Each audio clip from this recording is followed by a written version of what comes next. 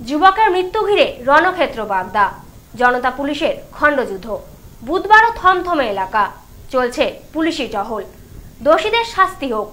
তবে পুলিশের ওপর হামলার ঘটনা নিন্দনীয়, জানালেন মৃত যুবকের বাবা। বুধবারেও থমথমে বাগদার বাজিতপুর এলাকা। সোমবার স্থানীয় যুবক রবীন্দ্রনাথ বিশ্বাসের অস্বাভাবিক মৃত্যুর ঘটনায় মঙ্গলবার সন্ধ্যার পর যুবকের মৃতদেহ গ্রামে ফিরতেই বাজিতপুর তিন রাস্তার মোড় এলাকায় মৃতদেহ রেখে দোষীদের গ্রেপ্তারের দাবিতে বিক্ষোভ দেখাতে থাকেন স্থানীয় গ্রামবাসীরা। রাস্তার মাঝে টায়ার জ্বালিয়ে চলতে থাকে বিক্ষোভ। বিক্ষোভ তুলতে টিয়ার গ্যাসের সেল ফাটানোর পাশাপাশি লাঠি চালায় পুলিশ। পাল্টা পুলিশকে লক্ষ্য করে কাঁচের বোতল ও ইট ছোড়া হয়। রীতিমতো রণক্ষেত্রের চেহারা নেয় গোটা এলাকা। ঘটনায় জখম হন বেশ কয়েকজন পুলিশ কর্মী। এরপরই বনগা, বাগদা, গোপালনগর থানা থেকে বাড়তি পুলিশ কর্মী পৌঁছায় ঘটনাস্থলে। দীর্ঘ সময় পর জনতাকে ছত্রভঙ্গ করে মৃতদেহ সৎকারের ব্যবস্থা করা হয়। এই মুহূর্তে আমরা দাঁড়িয়ে রয়েছি সিন্দ্রানী তিন রাস্তার মোড় এলাকায়। মঙ্গলবার রাতে এখানেই অগ্নিগর্ভ হয়ে ওঠে পরিস্থিতি। রাস্তার মাঝে মৃতদেহ রেখে বিক্ষোভ দেখাতে থাকেন স্থানীয়রা। পুলিশের সাথে শুরু হয় খণ্ডযুদ্ধ। পুলিশকে লক্ষ্য করে ইট, কাঁচের বোতল ছোড়া হয়। ঘটনায় জখম হন বেশ কয়েকজন পুলিশ কর্মী। এখনও সেই পোড়া চিহ্ন রাস্তার মাঝে কিন্তু দগদগে। এলাকার পরিস্থিতি যথেষ্টই থমথমে। দোকানপাট খুলেছে এলাকাতে, কিন্তু এখনও এলাকার স্থানীয় মানুষের চোখে মুখে গত রাতের সেই আতঙ্কের ছাপ কিন্তু কার্যত স্পষ্ট। সেই ছবিই কিন্তু উঠে আসছে। এদিন সকালে এলাকায় পৌঁছে দেখা গেল, রাস্তার মাঝে বিভিন্ন জায়গায় ছড়িয়ে কাঁচ ও ইটের টুকরো। রাস্তার মাঝে পোড়া দাগ। এলাকায় রয়েছে পুলিশি পিকেট। মৃত যুবক রবীন্দ্রনাথের বাড়িতে পৌঁছে দেখা গেল। বাড়ি থেকে মাঝে মধ্যেই উঠছে কান্নার রোল। প্রতিবেশীরা সান্ত্বনা দিচ্ছেন মৃত যুবকের স্ত্রী মনালী বিশ্বাসকে। যুবক এলাকায় যথেষ্ট জনপ্রিয় ছিলেন, জানাচ্ছেন স্থানীয়রাও। এই মুহূর্তে আমরা রয়েছি মালিপোতা গ্রাম পঞ্চায়েতের সন্তোষা কলোনি এলাকায়। অর্থাৎ মৃত যুবক রবীন্দ্রনাথ বিশ্বাসের বাড়ির একেবারেই সামনে। এখনও কান্নায় ভেঙে পড়েছেন মৃত যুবকের পরিবারের সদস্যরা। গত সোমবার এই গ্রামের যুবক, এই বাড়ির ছেলে, তার রক্তাক্ত দেহ উদ্ধার হয় এবং যুবকের অস্বাভাবিক মৃত্যু হয় হাসপাতালে নিয়ে গেলে। গতকাল, অর্থাৎ মঙ্গলবার, যুবকের মৃতদেহ যখন গ্রামে ফেরে, তখন বাজিতপুর তিন রাস্তার মোড় এলাকায় মৃতদেহ রেখে পথ অবরোধ করেন স্থানীয় মানুষ।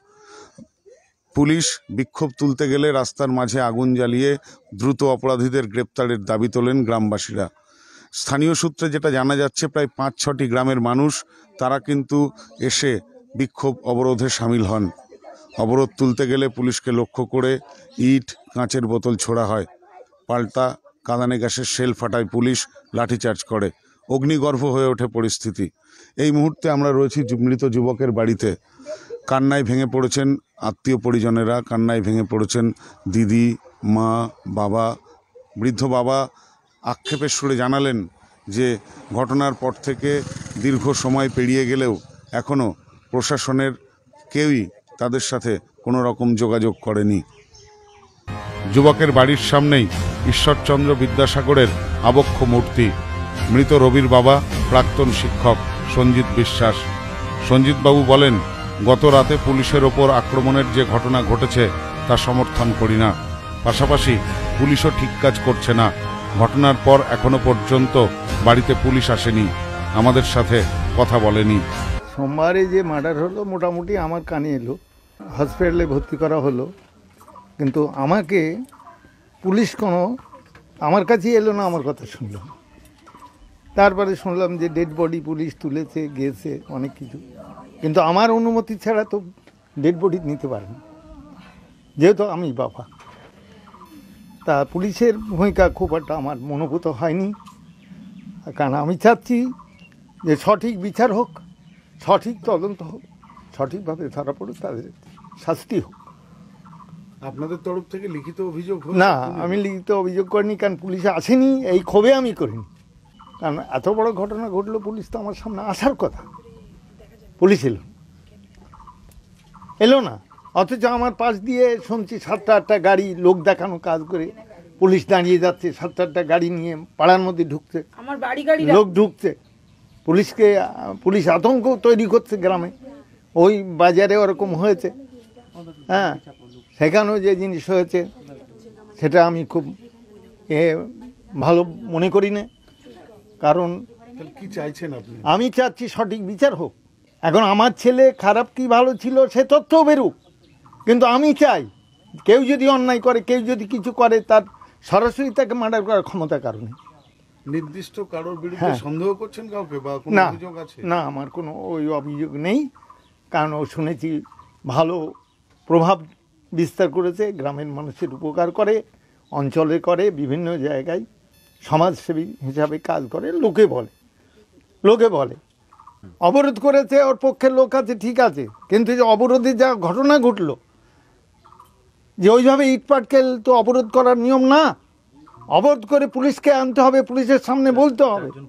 হ্যাঁ না ওটা আমি পছন্দ করি। ওটা ভালো হয়নি।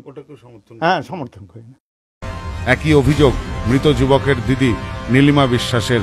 তিনি বলেন, আমরা বলব প্রশাসন কোনো কিছু ব্যবস্থা আমাদের জন্য নিচ্ছে না। একবারও আমার বাবা মার সামনে প্রশাসন আসেনি এখনও পর্যন্ত। তারা জানতে চাইছে না যে আমরা কি চাইছি। তারা কি করছে? বাজারে অবরোধ করেছে। অত ছেলে মেয়ে যখন, তাহলে তারা আমার ভাইকে ভালোবাসে তারা। আজকে ছটা গ্রামের ছেলে মেয়ে এক জায়গায় হয়ে গেছে। সেখানে প্রশাসন কোনো ভূমিকা না নিয়ে তাদের উপর অত্যাচার করছে। এবার পাবলিক খেপে গিয়ে তো পুলিশের গায়ে হাত দিয়েছে। এটা খুব অন্যায়। আমরা বলব এটা ভালো হয়নি। কালকে রাতে দুবার গাড়ি ঢুকেছে। আমাদের বাড়ি একবারও ঢোকেনি। তারা এই পাড়ায় ছেলেদের নিরীহ, ছেলেদের উপর অত্যাচার। তাদেরকে তুলবো, সারা গ্রামের ছেলেদের তুলবো। এইগুলো প্রশাসন কেন করবে? প্রশাসন সঠিক বিচার করবে গোটা ঘটনায় স্থানীয় এক সিভিক ভলেন্টিয়ারের বিরুদ্ধে অভিযোগ তুলেছেন মৃত যুবকের স্ত্রী। তিনি বলেন, আমার স্বামী বলে বলছি না। প্রত্যেকের বিপদে ঝাঁপিয়ে পড়তেন তিনি। এই ঘটনার পেছনে যারা যুক্ত, তাদের খুঁজে বার করুক পুলিশ। সিভিক পুলিশ ছিল এই সমস্ত জায়গার পুলিশরা সবাই হাত করে সবাই কি টাকা খাইয়েছে যারা মেরেছে। কেউ আসেনি আমাদের পাশে একবারও সে দাঁড়ায়নি। ডিপার্টমেন্টের সঙ্গে ওর ভালো সম্পর্ক ছিল রিলেশন ছিল। কতজনের জন্য আমি খাবার রান্না করতাম এসে বলতো জানো ওই থানাতে স্যার এসছে রান্না করবা তুমি ভালো করে বাজার করে এনে দিত আমি রান্না করে খাওয়াতাম রান্না করতাম কত যত্ন করে খাওয়াতাম। তারাও আজকে আমাদের পাশে এসে জিজ্ঞাসা করছে না আমাদের এত বড় ক্ষতি হয়েছে। ওখানে পুলিশ একজন সেবিক পুলিশ বাপি বলে একজন আমি টাইটেলটা বলতে পারব না।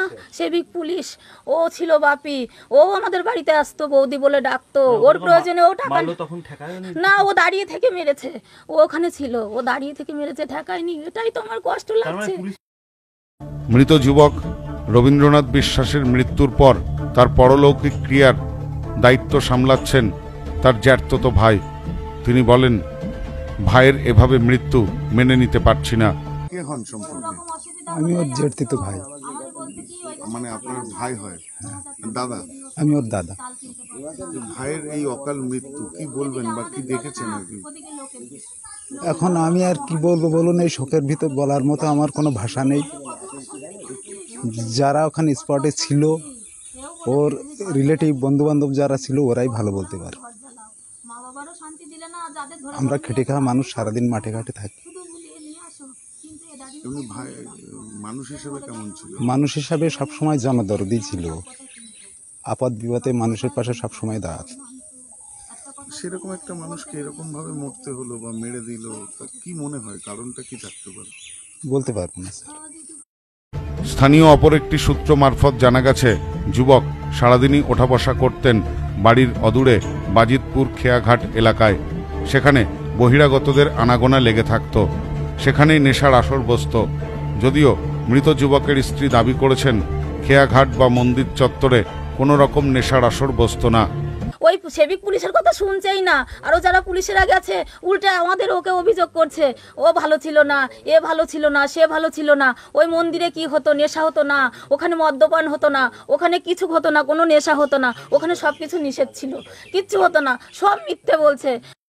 এদিন খেয়াঘাট চত্বরে গিয়ে দেখা যায় বিভিন্ন জায়গায় ঝোলানো রয়েছে নেশা না করার বার্তা। এ বিষয়ে অপর এক গ্রামবাসী লক্ষণ বিশ্বাস বলেন, মানুষ নয় আরও দু পাঁচখানা গ্রামের মানুষ একতা হয়ে আমরা চাই সঠিক বিচার চাই। যারা মেরেছে, তাদের যেন উপযুক্ত শাস্তি হয়। এইটাই আমরা সব থেকে ভালো।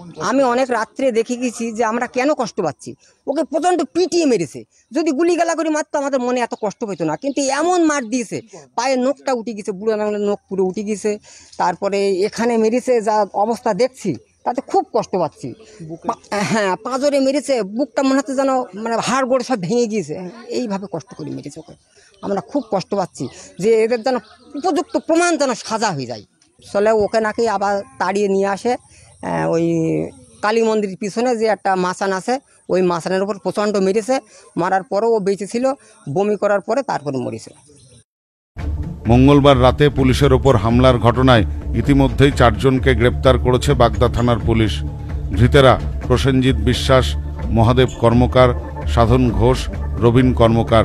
প্রত্যেকেরই বাড়ি বাজিতপুর এলাকায়। ধৃতদের এদিন বাগদা থানার পক্ষ থেকে বনগাঁ মহকুমা আদালতে তোলা হয়। পুলিশ সূত্রে জানা গেছে, ঘটনার তদন্ত শুরু হয়েছে। দ্রুত অপরাধীরা গ্রেপ্তার হবে। গ্রামবাসী থেকে নিহত যুবকের পরিবারের সদস্য প্রত্যেকেরই দাবি, দ্রুত গ্রেপ্তার হোক অপরাধীরা। ক্যামেরায় সোমদাস সব্যসাচী ভট্টাচার্যের সাথে Somnath Majumdar, news no man's land Bagda.